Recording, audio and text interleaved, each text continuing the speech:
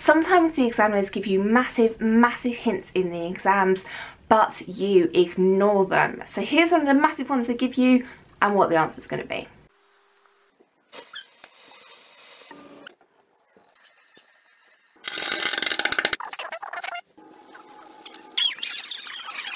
Sometimes in an equation you will see little things in brackets after the, the chemical that you've given you.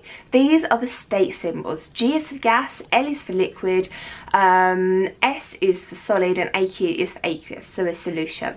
And if you see these in the exam, the examiners are giving you a massive, massive clue as to what the answer to the question is because it has to do with these symbols. They wouldn't they don't generally write them in unless they want you to refer to them.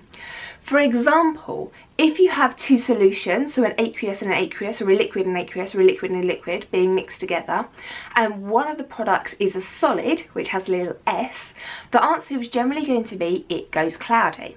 So they might give you an equation and say, what would you expect to see in this reaction? It goes cloudy because a solid is produced. Um, or they might mix two things together, could be two solutions, could be a solution and a liquid, and then a gas is given off. And now the gas is just going to float away and the mass of that is going to decrease. So if it's one where they have it on scales, and the mass is going to decrease.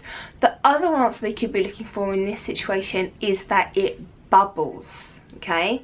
So bubbles and mass is going to decrease if a gas is released.